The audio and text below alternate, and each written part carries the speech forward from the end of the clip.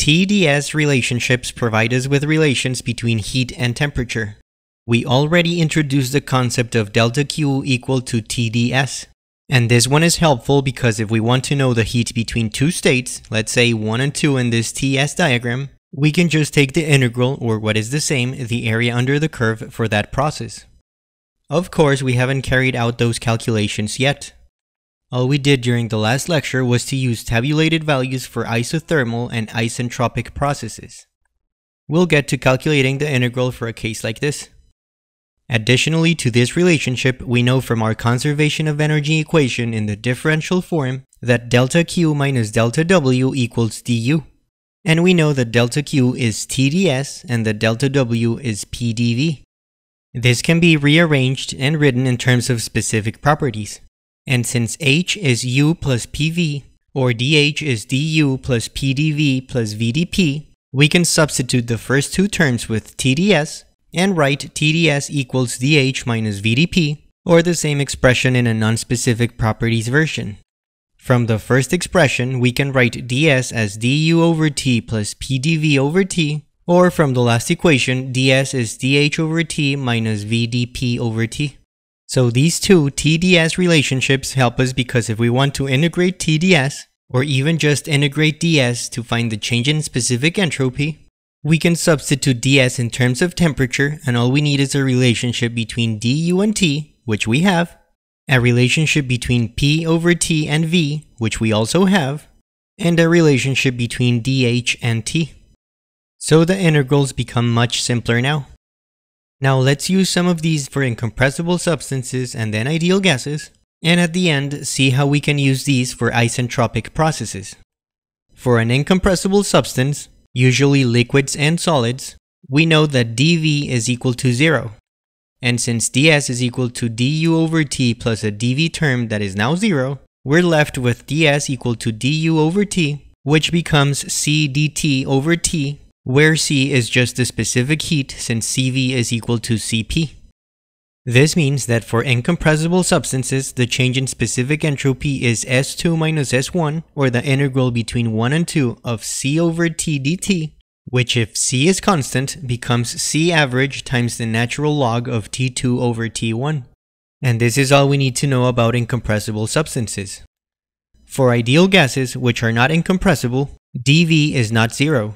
So we start with our first ds expression, where du is equal to cv dt, and from the ideal gas equation PV equals to RT, P over T is R over V.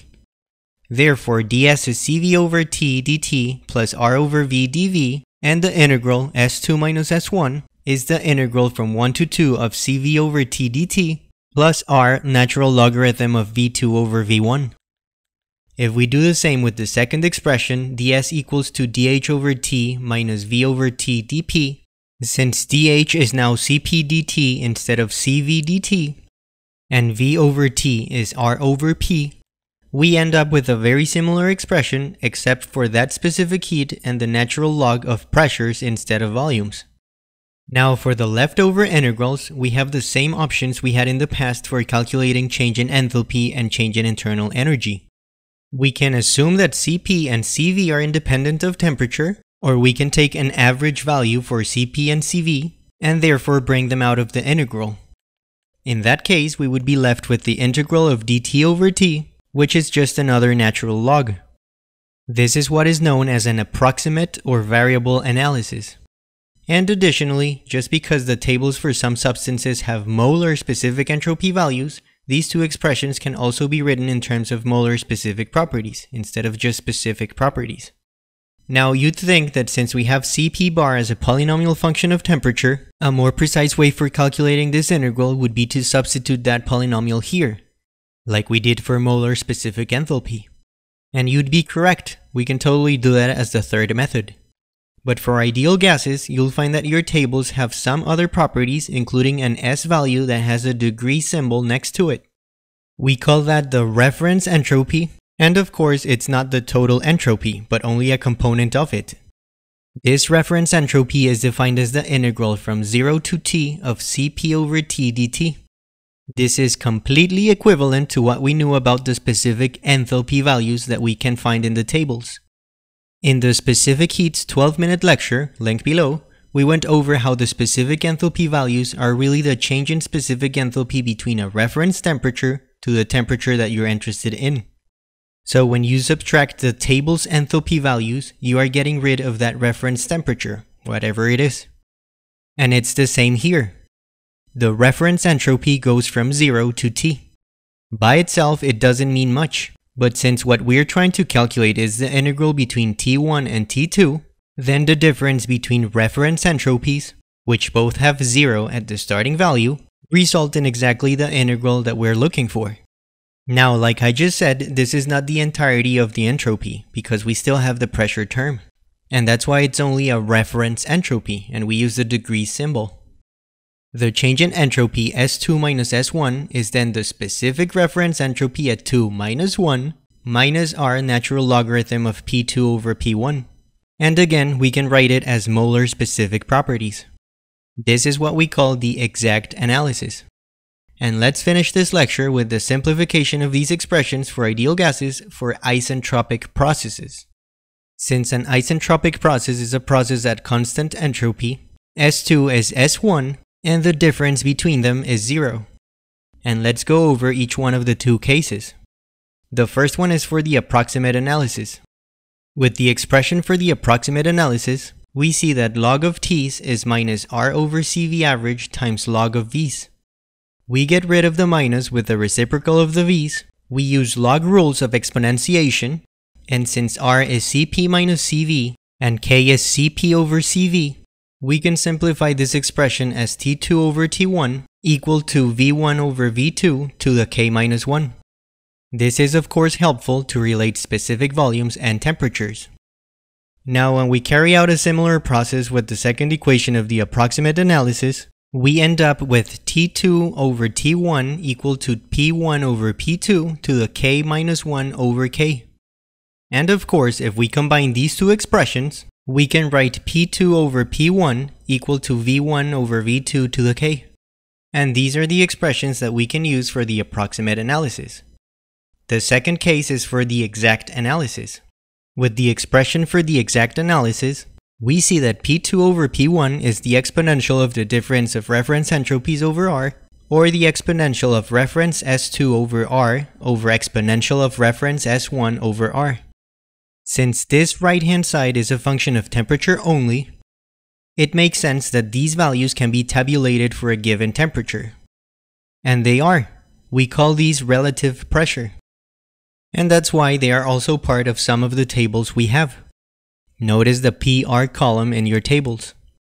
Additionally, using the ideal gas equations, V2 over V1 is P1 T2 over P2 T1, which if isentropic is equal to PR1 T2 over PR2 T1, and again like before since the right hand side is a function of temperature only, it makes sense that we can have a tabulated value for a given temperature. This V2 over V1 term is also relative volume 2 over 1, where our relative volume is T over PR. So as you can see, there's several cases to go over here. So as always, we'll look at a simple example here, but make sure to check out the links to the examples of this same topic that I left in the description below, so that you get to see how all the different concepts we learned today are applied. Oxygen travels through a pipe as it's heated from 250 Kelvin and 220 kilopascals to 1460 Kelvin and 160 kilopascals. What is the change of specific entropy for the oxygen? As usual, try to solve this problem yourself before watching this solution. We know we can do this with two different approaches, approximate or variable and exact. So let's begin with the exact analysis and use the values from the property tables. We know that the change in specific entropy S2 minus S1 will be equal to the difference in specific reference entropy minus R natural log of P2 over P1. When we go to the tables to get reference S2 and S1, we see that for oxygen, what we have are the molar specific values, reference S bar.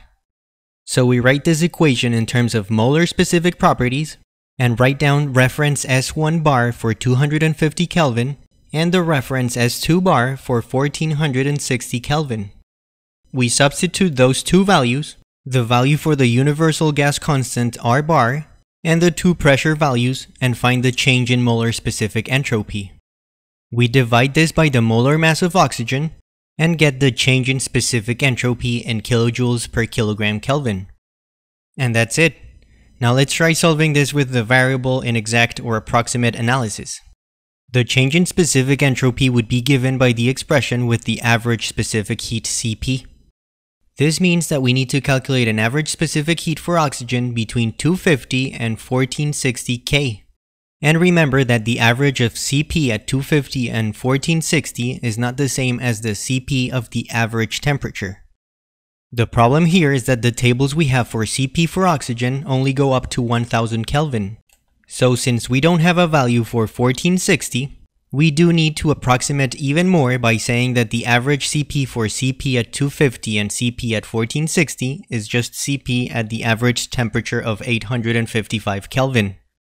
We take the CP value for 850K as 1.064, the average between 800 and 900K as a quick interpolation, and we substitute CP, the temperatures in Kelvin, the pressures, and find the gas constant for oxygen not the universal gas constant, to find the change in specific entropy.